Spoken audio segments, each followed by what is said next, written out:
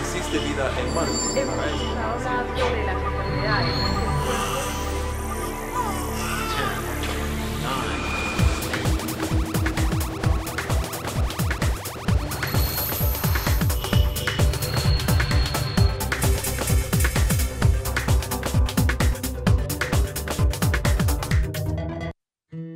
Axkan tikpia se tlamanilistli kampa tikitaskej nin kuali titlatosskej nin totlatolmej inmochi México. Tikmati keski nin tlatolmej onkatej, tikmati keski in tlatolmej ipolitikatej, tikmati in tlen kichijtikatej intlakamej aok amo poliuiskej intlatolmej iwan kuali tikinkopaskej axkan. Axkan onkatej tlatolmej ika tomawan, ika tokamak, amo tikauakan mapoliuikan intotlatolmej. Tla kuakuali nin kuali titlatosskej okse tlamantli. Tla tikneki tikmatis okseki, ximokauakan nikan Generación H. Y con esta maravillosa forma de darle la introducción a nuestro programa, además de agradecer el poder escucharlo en una lengua, la importancia de poder rescatar y ver cómo podemos involucrarnos es parte del tema que nos compete en el programa del día de hoy. Bienvenidas, bienvenidos. Soy Emilio Saldaña, El Piso, y me da mucho gusto darles la bienvenida a Generación H, un programa en donde a través de Heraldo TV nos preguntamos desde los espacios académicos y desde los espacios universitarios cómo podemos atender los retos que tienen nuestro planeta, nuestro país, y lo hacemos desde una manera en la que no nos preguntemos las cosas de cómo siempre se habían hecho o nunca se habían hecho así, justamente en los espacios de innovaciones donde buscamos el poder encontrar nuevas formas para encontrar soluciones. Y el día de hoy lo nombro y existe la importancia justamente del rescate de las lenguas indígenas en, nuestro país y los esfuerzos que se están llevando a cabo, sabiendo por supuesto, y lo saben ustedes, que nuestro país es inmensamente rico en este sentido y la tradición cultural y el valor que las lenguas preservan es muy relevante en términos históricos, culturales y de identidad justamente de los humanos. Entonces, déjenme darles la bienvenida y presentarles a mis invitados. Señores, muchísimas gracias por acompañarme. Buenas tardes y bienvenidos a Generación H. Si me hacen el favor de regalarme su nombre y la carrera que están estudiando, que estudiaron, señores. Mi nombre es Juventino Gutiérrez Gómez. Eh, yo soy egresado de la licenciatura en creación literaria de la Universidad Autónoma de la Ciudad de México, que es la UACM. Muchas gracias, bienvenido Juventino, gracias. ¿Qué tal? Y yo soy Manuel Andrés Pérez, soy pasante de Lingüística de la ENA, de la Escuela Nacional de Antropología. Muchísimas gracias y bienvenido también al programa. Bueno, pues primero lo primero, yo quisiera que comenzáramos antes de platicar de la importancia que tienen las lenguas indígenas y su rescate, quisiera que me ayudaran a desmitificar o a entender correctamente. En general, las personas no diferenciamos mucho entre dialecto y lengua. Cuando nos estamos refiriendo al otomí, al náhuatl, ¿de qué estamos hablando? ¿Cuál es la diferencia? Pues, bueno, básicamente creo que es como son los conceptos que más cuestan trabajo entender. Sí. Y vamos ¿Coincides en que la mayoría de la gente los usamos equivocadamente? Sí, sí, sí. O sea, eh, la idea de idioma o lengua son Ajá. sinónimos. Correcto, sí. Entonces puedo yo hablar del idioma español o la lengua española y lo mismo del el idioma otomí o la lengua otomí. Sí. Y tengo entendido que el dialecto es una variación de la lengua, ¿no? Ok. Entonces, en ese sentido, tú y yo estamos hablando un dialecto del español, no el del centro de México, Ok. y se va a diferenciar de otros españoles, ¿no? Sí. Como el del norte de México, como el de la península de Yucatán, característico, Sí. el de España, ¿no? Que también tiene variaciones. Correcto, ok, ok, ya entiendo. Ay, maravillosa esa explicación.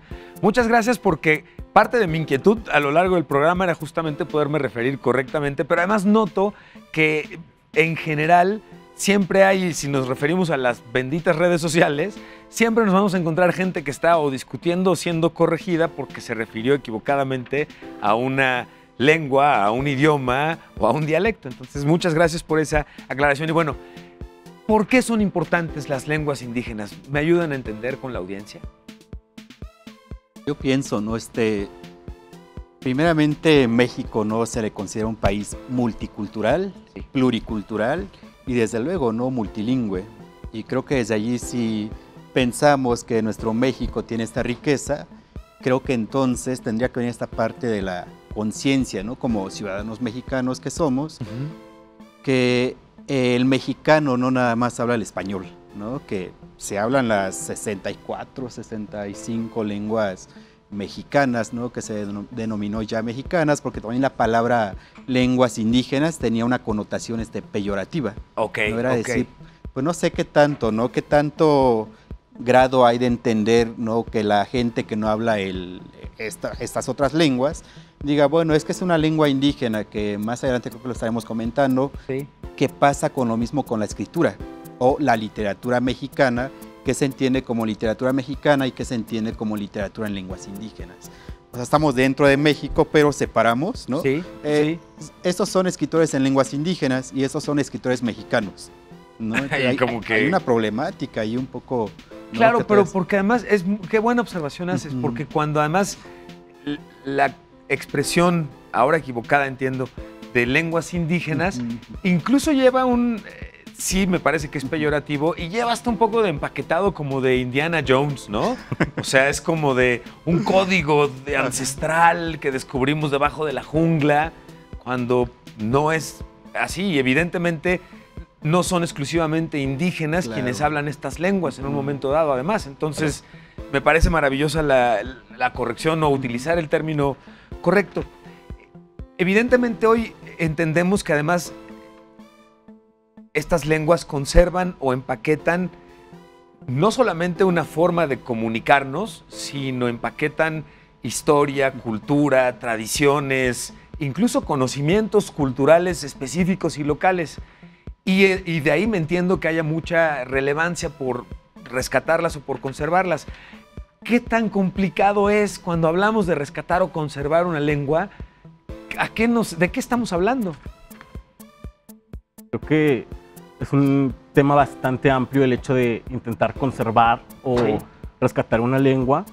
Eh, en mi caso, por ejemplo, lo que yo hago se llama documentación lingüística, ¿no? Ok, ok, y ok. esto de la documentación básicamente es crear un, eh, un montón de horas de grabación en audio, Sí. video, fotografía y poder tener eh, ese material para que otras personas en el mundo lo puedan, uno, ver y dos, estudiar y aprender de esas lenguas. Y con esto, digamos, garantizar su trascendencia o su permanencia en el tiempo. Quien quiera Claro. poder acceder a ese conocimiento de esta forma, puede hacerlo. Sin embargo, como ya estábamos comentando, hoy me queda claro que cuando hablamos entonces también de conservar una lengua, estamos hablando de conservar en muchos casos una comunidad, conservar las costumbres, usos de una comunidad en particular. Y entonces el tema toma una gravedad interesante en el sentido de decir, bueno, no solamente rescatamos o conservamos una lengua, conservamos comunidades específicas con tradiciones muy particulares. ¿Cuál es el... ¿Cuál consideran ustedes que sea una de las riquezas culturales más importantes que conservan particularmente las lenguas?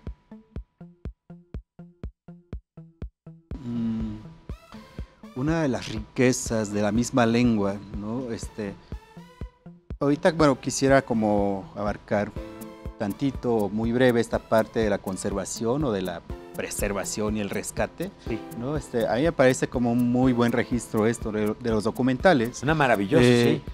Pero también creo que nosotros hemos estado como peleando esta parte, o más que pelear, discutirlo, ¿no? Sí, Discutirlo, ¿no? sí. Pelear es un verbo muy feo, pero discutirlo sí. Entre qué tanto rescatamos, si realmente rescatamos, o quién lo rescata. Claro, Eh, me ha tocado ver, y creo que ese es el ejemplo no más claro, cuando nosotros que venimos aquí a la ciudad, que somos emigrantes y volvemos al pueblo, ajá, ¿qué pasa entonces en el pueblo? ¿Quiénes hablan la lengua o quiénes están conservando la lengua? sí. Los hijos o los niños ahorita que están naciendo, nacen, el mundo es la parte tecnológica, ¿no?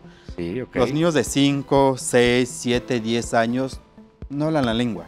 ¿no? Y creo que no es un problema nada más externo, es un problema, problema perdón, primeramente interno. Ok, A lo que voy es con esto, ¿no? Yo sé que en el pueblo que soy de Santa María, Tlahuitoltepec, Mije, Oaxaca, el problema yo no lo he visto tanto externo, lo he visto en mi propio pueblo. la, digamos, la, por llamarlo así, la contaminación de modernidad que ha sufrido la Ajá, localidad. Claro, claro, también, pero no sé, yo siempre he dicho que la parte tiene que ser con la sensibilización o la Ah. conciencia de uno mismo, es decir, de nosotros, los hablantes. Quizás no todos estén de acuerdo con eso, pero a mí me ha tocado verlo. Yo voy a mi pueblo, le digo a un niño este, en mi lengua, ¿no? en la lengua mije, Sí. digo, oye, este, no sé, ¿está, ¿está tu mamá o está tu papá? Y él me contesta en español.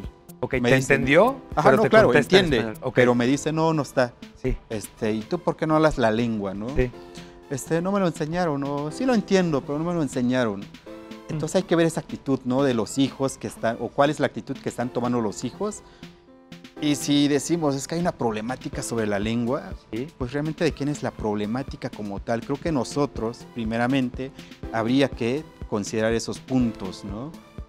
Claro, porque además aquí, aquí ahorita que me lo estabas explicando, me, me surgen varias cosas. La primera es, uno, tenemos la carga externa de nuevos contenidos que nos llegan a través de la tecnología y del conectarnos, lo cual me parece que es maravilloso. Sí, sí, Hoy hay un esfuerzo nacional muy grande por reducir la brecha digital y que llegue Wi-Fi e Internet a todos los rincones del país.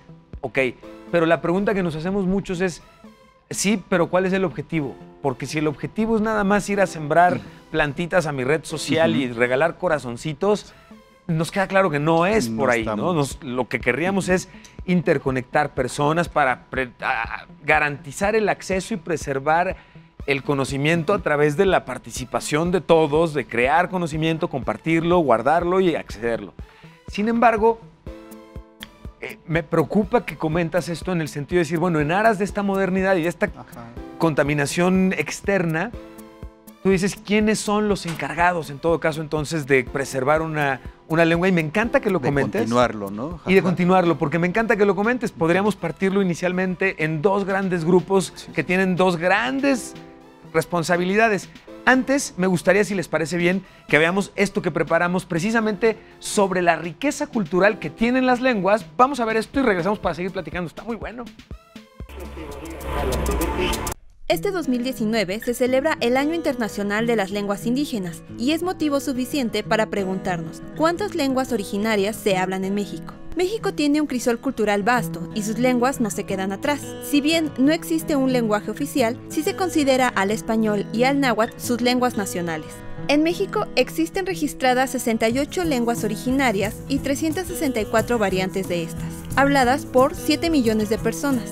Las lenguas originarias son una ventana de conocimiento, de cosmogonía de una cultura, es decir, la forma en la que un pueblo, comunidad o cultura se explican el universo y su transformación. ¿Cuál es la lengua originaria más cercana a ti?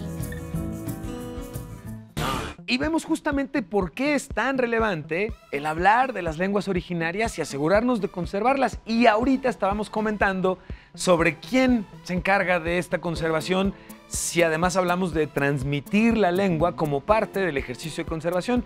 Y corríjanme o compártanme su opinión, lo veo en dos grandes canastas.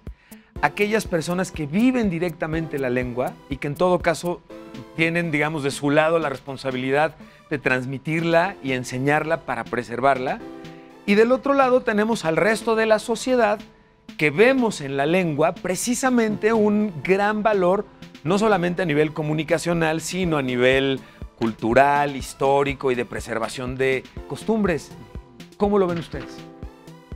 Uy, es- Porque, porque las responsabilidades, digamos, o las tareas que cada uno de estos grupos tendría que hacer son claramente distintas, ¿no? ¿Qué opinan ustedes? creo, creo que sí es cierto lo que dices que son dos grandes grupos, pero también es un poco falso verlo tan tajante, ¿no? Ok, o sea, estos dos grupos en realidad están mezclados. Sí, ¿no? correcto. Y cuando hablamos, por ejemplo, de, de los hablantes de las lenguas indígenas, por ejemplo, nosotros que estamos aquí en la Ciudad de México, o sea, aquí en la Ciudad de México están los hablantes de las 68 lenguas indígenas de todo el país. Y la idea es, bueno, sí las respetamos, sí este, queremos aprenderlas, pero en realidad, eh, ¿hasta qué punto les damos espacio a esas lenguas indígenas? Ok, no? ok, ok. ¿Hasta qué punto entonces tenemos como sociedad una postura medio hipócrita? Podría llamarse hipócrita, O sí. medio, sí, como medio falsona, ¿no? Así como de, nos preocupamos, digamos, de como de activista de Twitter, ¿no? En el sentido de reclamo, me quejo, digo, pero más de eso no hago tanto, ¿no?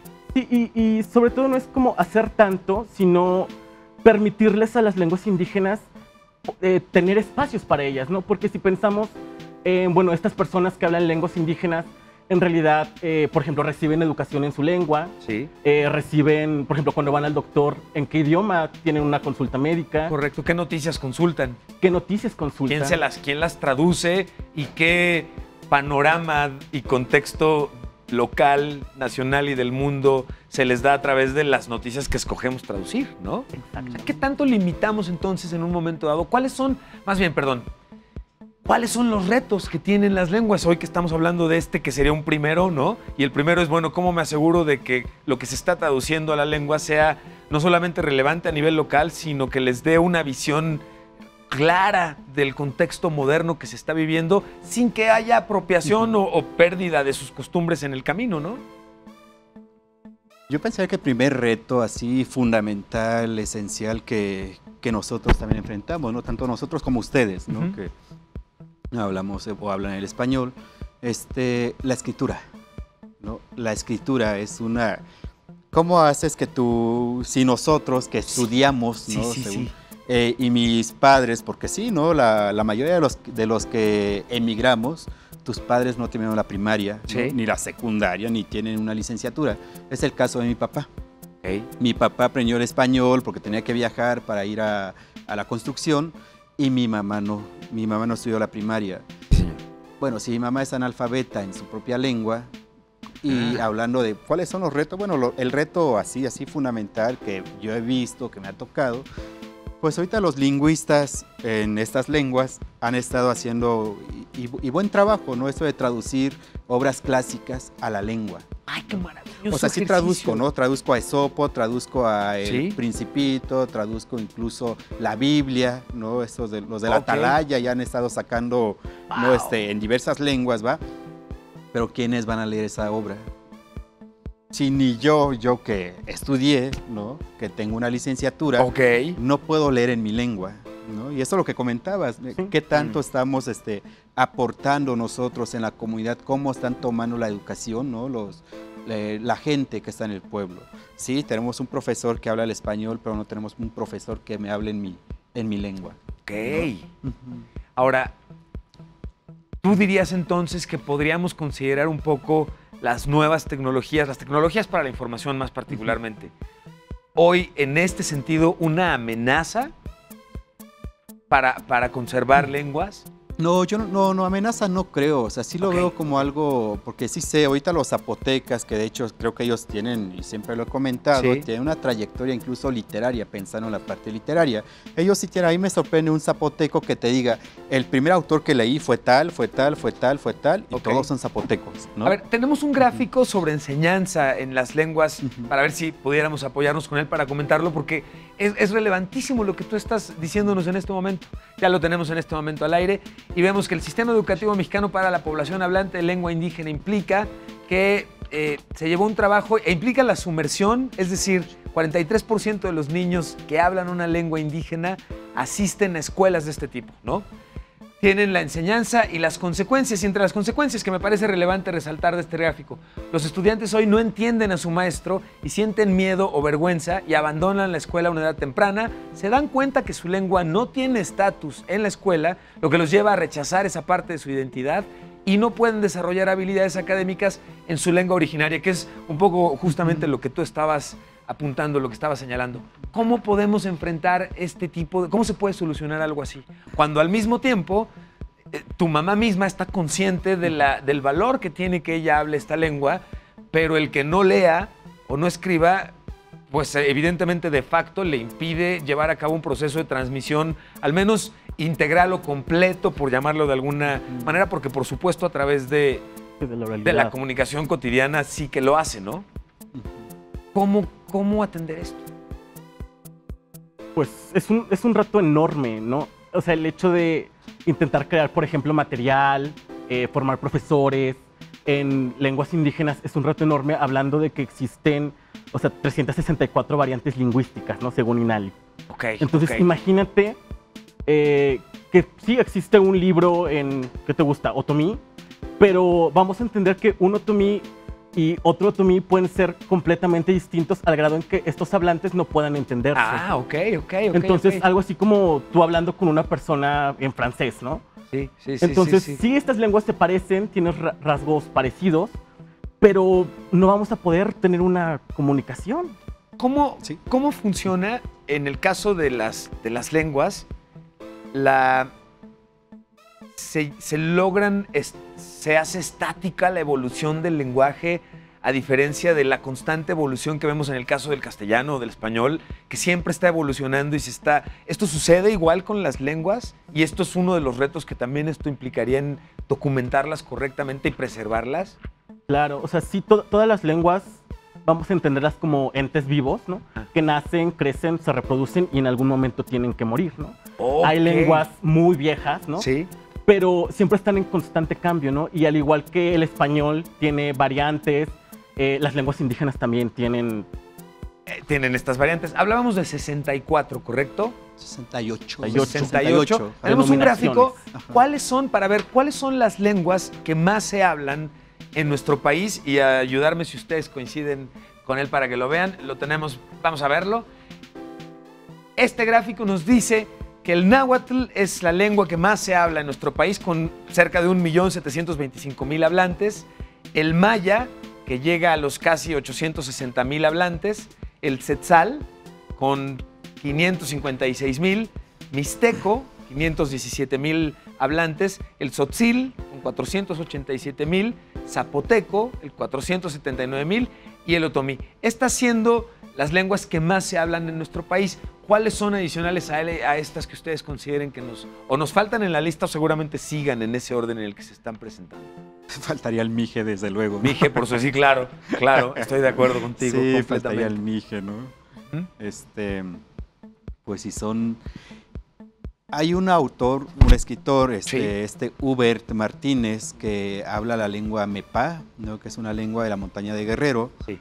Por ejemplo, ellos, a mí me parece una- un trabajo interesante, ¿no? El, eh, el que hace él, uno poeta, este, creo que esta parte, ¿no? De cómo conservo, gracias a la literatura o gracias a la poesía, eh, Sí. él escribe poesía, Ok. ha sabido como hacer un puente, ¿no? Entre la ciudad, ¿no?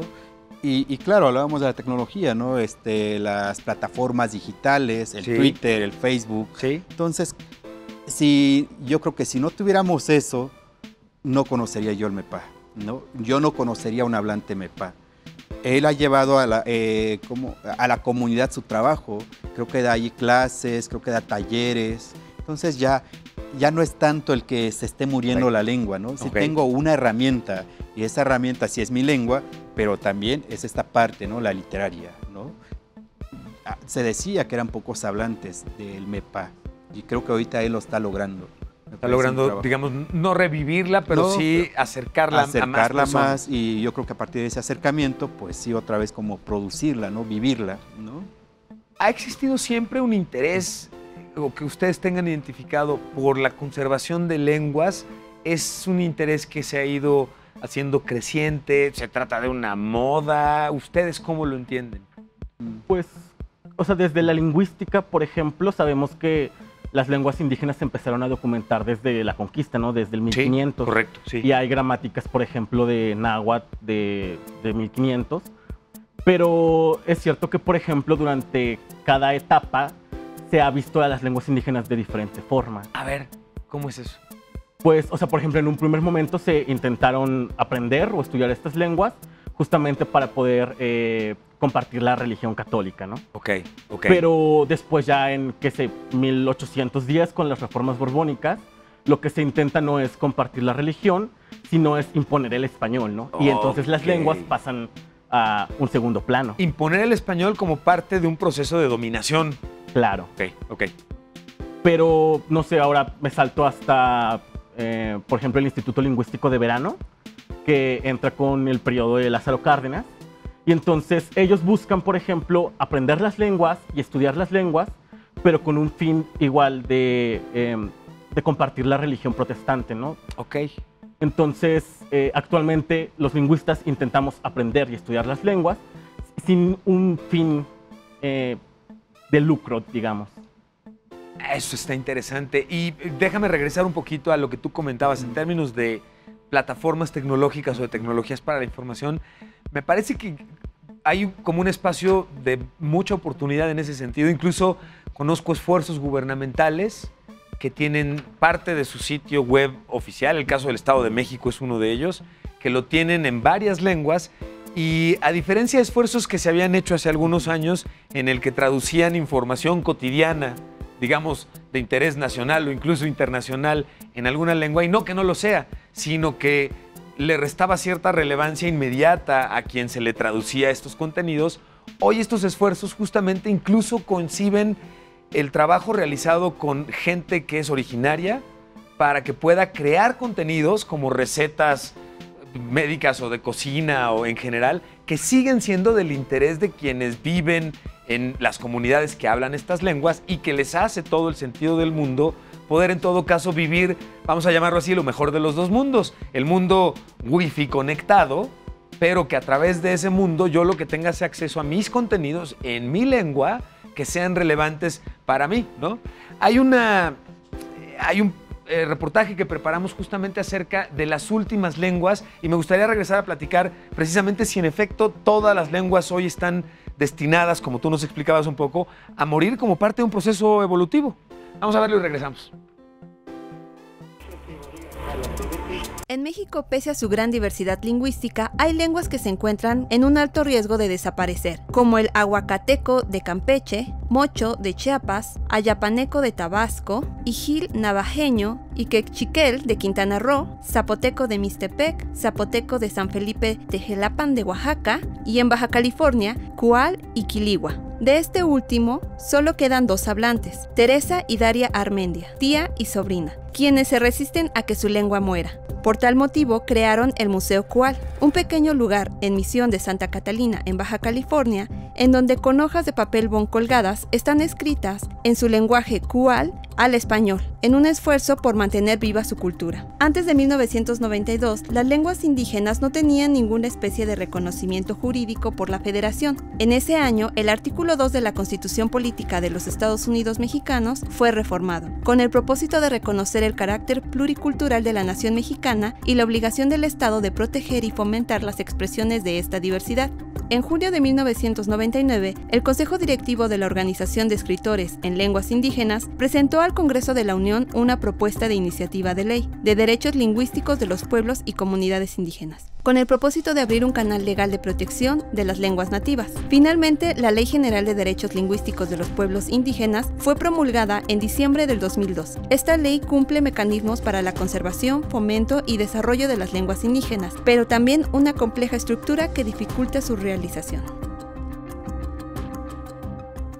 Y como en muchos temas en los que el ser humano ha abusado, hoy la pregunta es más bien, ¿existe esperanza? ¿Podemos rescatar aquellas lenguas que estén en peligro de perderse? ¿O cómo entender un proceso de evolución natural que involucre en un momento dado el ya no utilizarlas a lo mejor cotidianamente, pero sí mantenerlas y preservarlas para poderlas conocer y estudiar? Enseguida de un corte vamos a regresar y platicamos de esto con nuestros invitados. Les recuerdo, soy Emilio Saldaña, El Piso. Estamos transmitiendo en vivo desde los estudios de Heraldo TV. Estamos muy atentos también en redes sociales para conocer sus opiniones, qué les gusta, qué no les gusta, qué temas quieren conocer y a quiénes debemos invitar aquí en nuestras redes sociales para poder tener contacto. Y les recuerdo también que hace unos días estamos de manteles largos con Heraldo Radio y los invitamos a que nos sintonicen en el 98.5 del FM aquí en la Ciudad de México y en el 100.3, por supuesto, en Guadalajara. Vamos a hacer un corte y regresamos. Esto es Generación H. Vamos y venimos.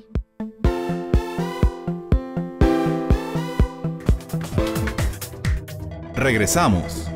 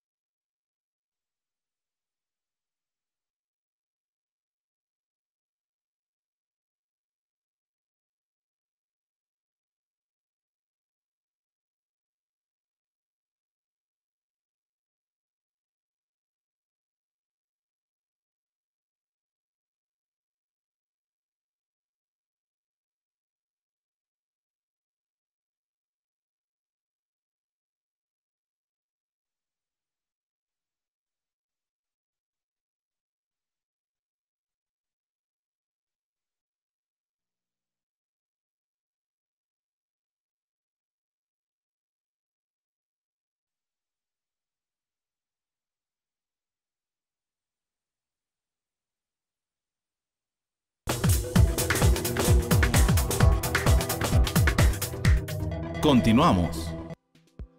Ya estamos de regreso y platicábamos justo antes del corte sobre cuáles serían y si tenemos esperanzas para salvar una lengua o si hay lenguas que tienden a desaparecer de manera evolutiva, como nos han explicado nuestros invitados el día de hoy, Andrés particularmente.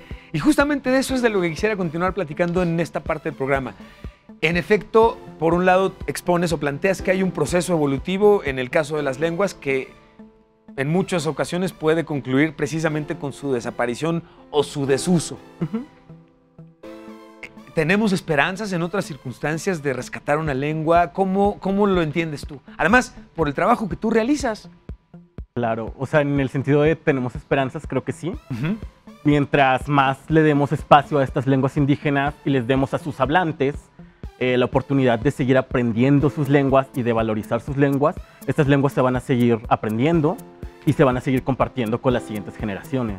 Maravilloso. Esta sería, digamos, una primer respuesta inmediata cómo puedo paliar un proceso de evolutivo de una lengua que podría apuntar a su desaparición. Pues bueno, fomentándola y reconociéndola y dándole espacios para su continuidad en el tiempo. En todo caso, lo que puedo hacer es extender muchísimo el proceso evolutivo de, de una lengua en particular.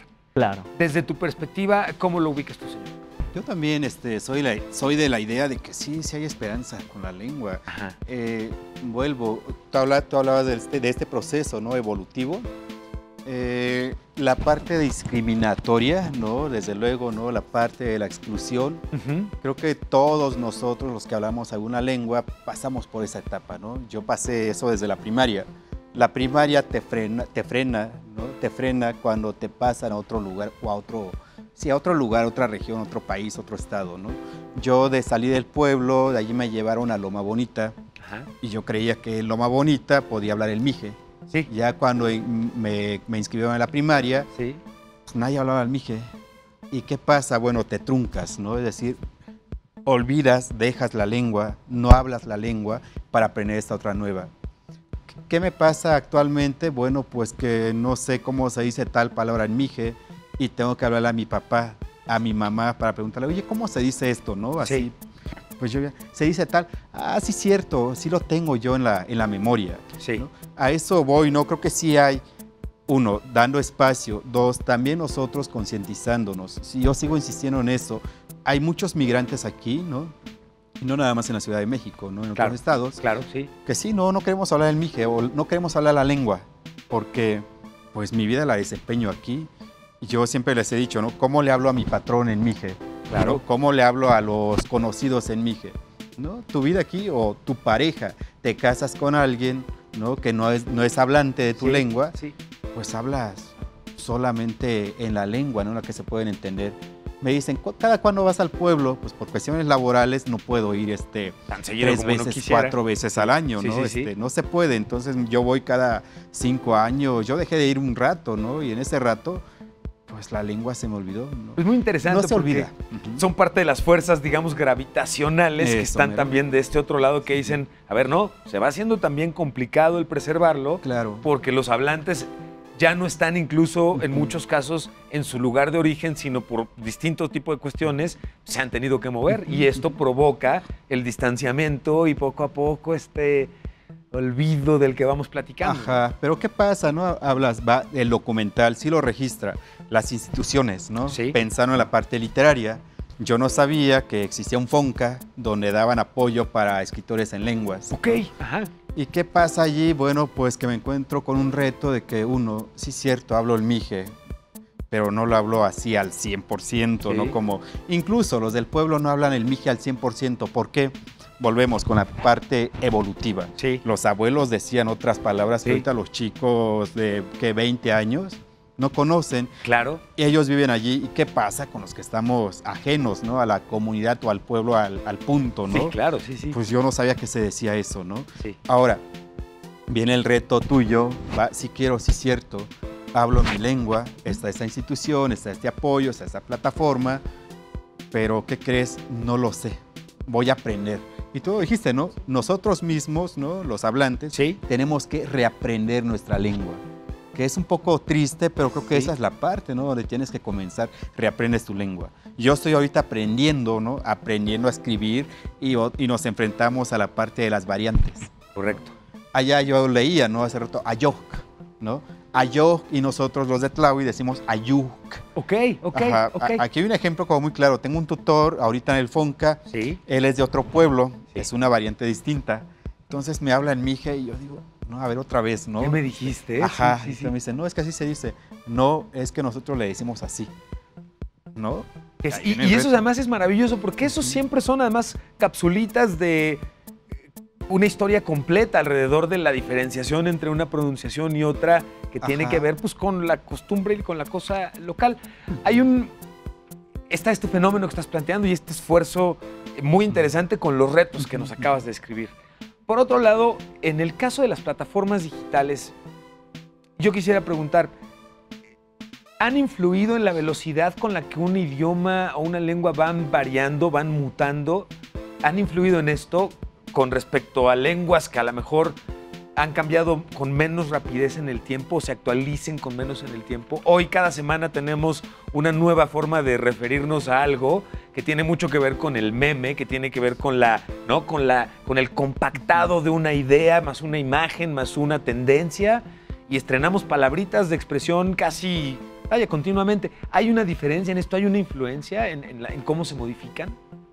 Pues, bueno, en, en un primer sentido creo que la escritura de cualquier lengua eh, frena un poco este, esta diversificación Ok, ok, ok, de, las lenguas. ¿no? Bien, sí. Eso lo, lo hace más, pues lo congela un poquito más en el tiempo, sí. Pero, por ejemplo, en el caso de las lenguas indígenas, como mencionaba, el, uno de los problemas es la escritura, ¿no?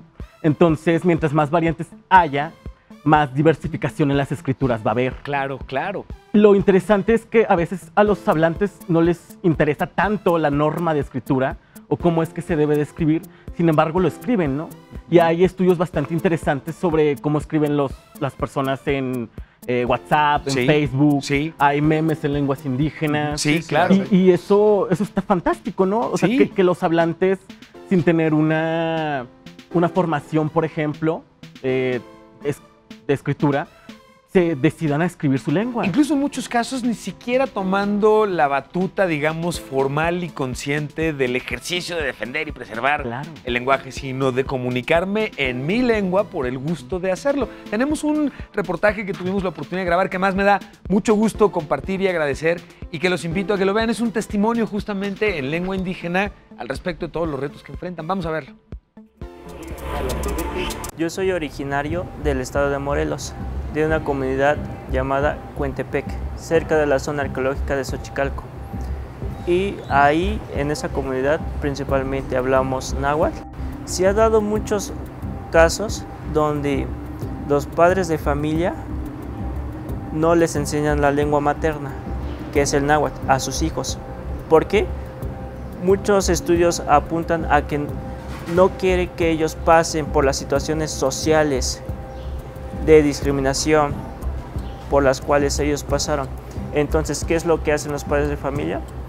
Eh, en primera instancia prohíben la lengua, les hablan solamente en español. Y este fenómeno pues se ha venido dando, no tiene mucho que se empezó a dar, 10 años principalmente, cuando eh, los procesos de discriminación hacia los pueblos indígenas se empezó a dar más, pero también la forma en cómo uno habla, que les empieza a decir que son indios, que son indias, que vienen de una comunidad autóctona, que son retrasados. Todo eso se ha tratado de dejar atrás y vemos por estas oportunidades sociales que nos brinda el poder hablar dos lenguas, porque es una capacidad que no toda persona lo puede tener. Conforme va a pasar el tiempo, esas lenguas se van a perder. No va a haber hablantes, se va a perder una forma de cómo concebir el mundo natural, el mundo simbólico, se va a perder. Y es muy interesante, a mí la verdad es que me provoca particularmente en el estómago una sensación muy incómoda saber que en efecto puedan ser víctimas de burla o de suponer menos habilidades intelectuales cuando hablan más idiomas que uno mismo, entonces, o hablan más lenguas, se expresan en distintas formas. Y esto es algo que constantemente se está tratando de revertir, pero lo vemos que se repite no solamente en esto, es decir, en México somos y tenemos un problema de desigualdad y un problema de poco reconocimiento entre nosotros mismos y po- poca valoración entre nosotros mismos. Y, es algo triste, pero bueno, es algo que también estamos en muchas ocasiones, en muchos, desde muchas aristas, tratando de combatir. Eh, una de estas eh, me parece más relevante porque nos da pie para hacer una pausa maravillosa en el sentido de invitarte, Juventino. Tú además escribes poesía. Compártenos algo de lo que estás escribiendo, por favor, Juventino. Sí, este, yo me titulé con este libro que se titula En Ayuk surca la memoria. En Ayuk, en surca la Ayuk, memoria. ajá, Ayuk, que así nos conocemos nosotros los mijes, ¿no? Este, o la gente externa, ajena, ¿no? Este, nos conoce como mijes. ¿no? Sí, Pero nosotros dentro somos Ayuk Haoy. Ajá, Ayuk Haoy es gente. ok, Ajá, ok. gente. Y bueno, este libro, pues es una cuestión autobiográfica, ¿no? De, de ese niño que vivió un rato en el pueblo y, y después sale. Y creo que esta sería la parte, hay una profesora que, que tuve en la UACM, Elia Sánchez, me Ujú. dijo, bueno, si no sabes escribir en tu lengua, escríbelo como se pronuncia, ¿no? Que sería un, un acercamiento. Ok, ok. Si, si tú dices, es que yo no sé cómo se escribe tal palabra, pues escríbelo como suena. Y creo que, hay, que aquí hay un ejemplo, y este es como esta lucha, hablábamos de la discriminación, ¿no? Discriminación, exclusión. Y bueno, mi cerebro es una cárcel de ideas donde dos lenguas se entrechocan. Nombré la luz en Ayuk, Shub, y se atravesaron intrusos estruendos de otra lengua que golpearon mis oídos con camiones, metro y tamboriles de coches. El castellano comenzó a atropellar mis palabras. Tengo un par de lenguas abierto en abanico, construido en diferentes hemisferios. Deletré al viento y un ventilador, unos árboles y un jardín minúsculo. Reflexiona los nombres de las cosas. Estas lenguas son torrentes de distintos aguaceros que van arrastrando mis ideas al almacén del tiempo. ¿No? Esas son estas dos lenguas, ¿no? el español o el sí. castellano y el mije. Oye, pero qué maravilloso retrato de lo, de lo que experimentas cuando estás enfrentándote a otro idioma, a entender y adaptarte además a otro lugar con todo lo que, con toda la carga novedosa que tiene cualquier otro lugar, pero a eso agregarle el valor en términos de y, y dónde está quedando mi lengua y dónde Sí. está quedando la forma en la que yo solía organizar mis ideas, ¿no? Exacto, ¿no? Esta parte de los dos mundos, los dos hemisferios, Sí. ¿no? Preguntaban, bueno, es que alguna vez un profesor me preguntó también, ¿no? Entonces tú, ¿cómo piensas, no? ¿Piensas en español o piensas en mije? Ah, qué O buena tú, pregunta, este, claro, claro, claro. ¿O tú qué eres? ¿Eres mije o qué eres, no? O eres, ya no eres mije. Porque cuánto tiempo hace, ¿no? Que saliste, ¿no? sí. Pues yo, pues siempre vas a ser mije. ¿no? ¿Qué podemos hacer si no somos hablantes para contribuir? Bueno, en mi caso yo no soy hablante de, de ninguna lengua indígena. Sí. Yo soy lingüista y, y lo Sí. que hago es intentar aprender y documentar las lenguas. Ok. Pero sí, en el caso sí. de, de otras personas que, que no son lingüistas y que no son hablantes de lenguas Sí. indígenas, yo creo que el, el primer paso sería respetar a estas lenguas. Ok, claro, maravillosísimo primer paso, por supuesto. No es tanto que pueda yo hacer directamente por una lengua, sino que puedo hacer por dejar de molestar con Exacto. pensamientos equivocados e ignorantes, verdaderamente ignorantes, en términos de racismo y en Claro. términos de segregación y en términos de vernos diferentes y pensar que esa diferencia, además, porque hay que estar equivocado para ello, me dé a mi ventaja, ¿no? Yo Claro. que te pienso diferente y que no te acepto, yo tengo ventaja. ¿Duh? No, suena, suena absurdo. Por otro lado, me entusiasma mucho sí saber que a través del trabajo que hacen lingüistas, por ejemplo, y del trabajo del proyecto en particular que nos compartías al inicio del programa, lo que se esté haciendo es literalmente capturar y documentar más metodológicamente eh, una lengua en particular. ¿Qué trabajos hoy existen o en qué lenguas sabes hoy que tengamos un avance en términos documental interesante o, o- o muy vasto? ¿Existen? Pues sí, o sea, en realidad existen eh, diversas organizaciones en el mundo que financian proyectos de documentación para lenguas indígenas en todo el mundo. Ok. Es decir, eh, por ejemplo, México es un foco rojo en el sentido de que es un país eh, muy diverso lingüísticamente. Me respondiste, me respondiste de inmediato el te decir, y bueno, ¿y cuál es el papel, cómo figura, figura México a nivel mundial en estos esfuerzos? Y en ese momento me Claro. dices, México es el foco rojo. Sí, sí, sí. O sea, es, es un país que tiene 11 familias lingüísticas, Sí. que tiene 60 364 variantes lingüísticas que tienen que ser documentadas porque en cierto grado estas lenguas cada día están perdiéndose. Sí. Entonces, eh, te digo, estas organizaciones, eh, a personas interesadas, tanto hablantes como no hablantes de las lenguas, eh, pueden acudir a ellas y decir, bueno, yo quiero documentarlas. Y lo que hacen ellas es, eh, uno, financiar Sí. y también es formarte, ¿no? ¿Cómo- ¿Cuál es la manera adecuada en, en recolectar esta, este material de lenguas indígenas? Que eso es, eso es muy interesante. Los invito a que veamos ahorita por lo pronto este reportaje que preparamos sobre lengua maya en señas. Chequen lo siguiente. Cualquier lengua tiene como núcleo la transmisión oral para que ésta sobreviva. Pero ¿qué sucede cuando su portador no puede hablar? ¿Se crea otro nivel de comunicación? Así sucedió en la península de Yucatán, en Chicán, un pueblo en la península de Yucatán, donde el lingüista Oliver Le Guin se vio intrigado por conocer cómo nació la lengua de señas maya yucateca, una lengua emergente, pues fue creada por sordos u oyentes para comunicarse entre sí sin una base de lenguas de señas previa. Esta fue inventada por familiares de sordos para comunicarse con sus familiares en la lengua maya. Hoy existe un equipo integrado por investigadores internacionales, nacionales, así como miembros de la comunidad que se encargan de documentar la lengua de señas yucatecas para describir, entender y preservar este lenguaje único. Pues este es un fenómeno bien interesante. ¿Qué opinión les merece a ustedes esto? Pues, bueno, yo conozco un poco más de cerca el trabajo que hace Olivier Sí. y es asombroso, ¿no? El, el- Platícanos un poquito más entonces, por favor, porque Eh, está muy interesante. Bueno, el caso de, de las lenguas de señas, eh, justamente la, la- la mayoría de las personas pensamos que las lenguas solamente son orales, ¿no? Sí, correcto. Sabemos que hay lenguas de señas y en el caso de este específicamente es una lengua emergente, es decir, que no tiene, un, que no tiene una estandarización y que surgió de los propios hablantes. Entonces, en ese sentido, eh, ha creado, por ejemplo, Olivier metodología, porque no se sabía cómo estudiar estas lenguas. Ok.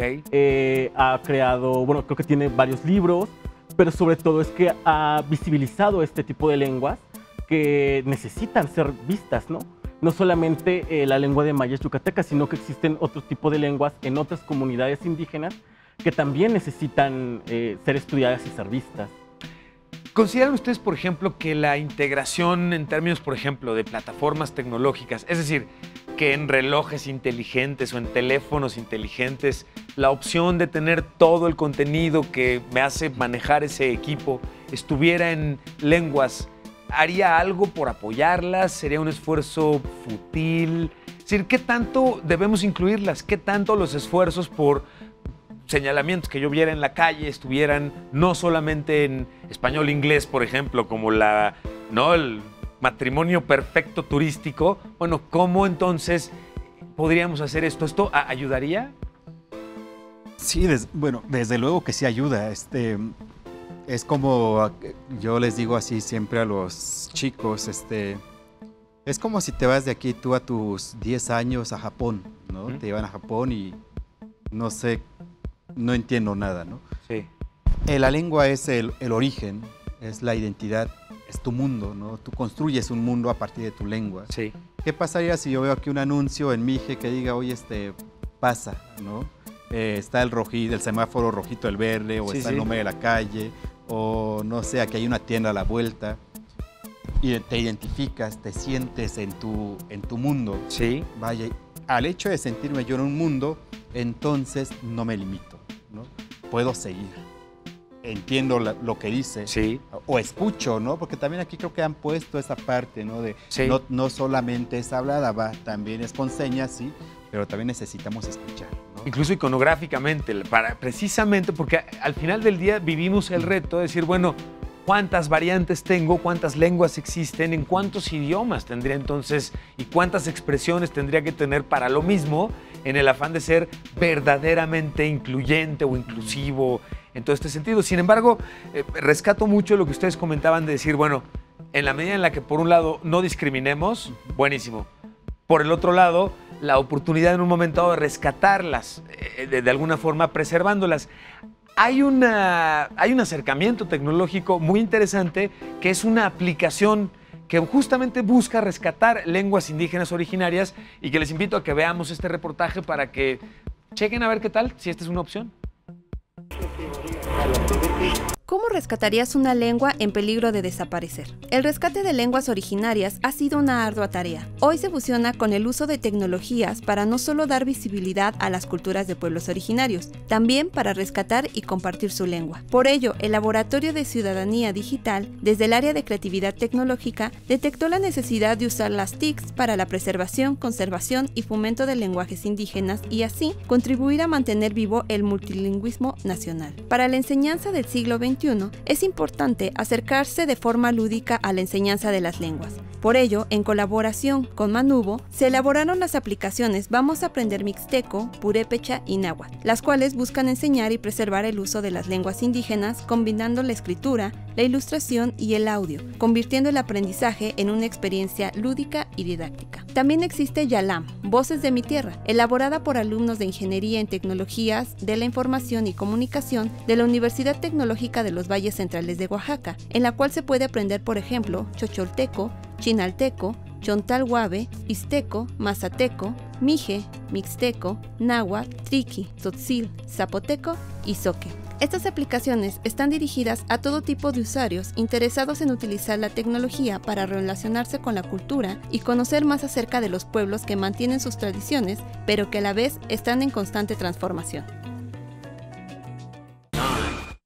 Y me gusta mucho el esfuerzo porque me parece que es un, sin serlo completamente, es un justo medio en donde nos podemos encontrar entre cómo podemos utilizar tecnología, conscientes del intento de rescatar y preservar una lengua indígena o originaria, pero al mismo tiempo, pues un poco cumpliendo la labor que tenemos de terceros finalmente, como ya hemos señalado, la importancia de que las familias mismas que la hablan la transmitan y por otro lado, la relevancia muy grande de la documentación formal y programada para poder preservarlas en el tiempo. Nos acercamos al final del programa, pero además de agradecerles de verdad mucho la oportunidad de conversar y entendernos y explicarnos además eh, este tema, yo te pediría, les pediría unas conclusiones iniciales. Juventino, te voy a pedir que nos hagas el favor de leernos otro de tus poemas, por favor, si eres tan amable. Y tus conclusiones por un lado, Andrés, por favor, señor. Pues a manera de conclusión, creo que está súper bien crear este tipo de espacios y este para mostrar que existe una diversidad lingüística y sobre todo el siguiente paso sería, ¿no? Crear espacios en lengua indígena Ujú. para estas personas que hablan estos idiomas. Totalmente de acuerdo, claro, por supuesto. Te agradezco mucho la oportunidad de acompañarnos. ¿Qué le dirías a los alumnos o a las personas que nos están viendo y que el tema les apasiona, pero no terminan por decidirse si debo irme por ahí para estudiar? ¿Tú qué les recomendarías? Pues creo que es- a todos cuando empezamos en, en este camino nos da un poco de miedo saber si es el camino seguro, pero hay mucho trabajo que hacer y si te apasiona, adelante. Pues te agradezco muchísimo. Señor, Bueno, pues yo cierro con este poema que es como una síntesis ¿no? de la lengua. gracias, Juventino. La lengua ayú, larga y hermosa, es como la trenza de las muchachas. ¿no? Con eso cerraríamos. ¡Wow, maestro! Pues te agradezco mucho. ¿Dónde podemos comprar tu libro? Ah, sí, este libro lo pueden adquirir Sí. en la editorial este, Pluralia. Muestra lo que En la editorial la Pluralia cámara. Ediciones con el buen amigo y colega Héctor, ¿no? Héctor Martínez. Ok. Entonces, él, de hecho, es la única editorial, ¿no? Que anda, este, que anda publicando estos autores. ¿no? Ahí O estás estas perfecto para que lo podamos ver, para justamente invitar a la gente a que lean justamente estos pensamientos y poemas que compartes y felicitarte, además agradecerte nuevamente y finalmente agradecerle por supuesto a nuestra audiencia, el que nos acompañen, la oportunidad para platicar. Antes de que nos despidiéramos y me robo quizá unos segunditos más, eh, yo quisiera preguntarles, el encuentro, tecnología e historia de, nuestra, de nuestro país, ponen en riesgo, se contaminan unos a otros o pueden coexistir. No, yo creo que esta idea puede ser como un poco purista en el creer que las lenguas indígenas tienen que mantenerse en ese estado y no, y no tener contacto con la tecnología. No, o sea, la realidad es que los hablantes de lenguas indígenas hoy en día están metidos en todos lados, están trabajando en todos los lugares Sí. y son tan diversos que tienen el derecho y están utilizando tecnología, ¿no?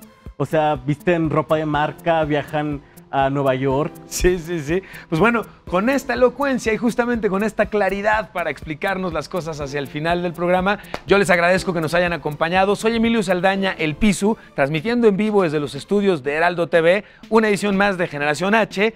Y déjenme irme a tomar una fotografía última con mis invitados y agradecerles de verdad la oportunidad de conversar y de...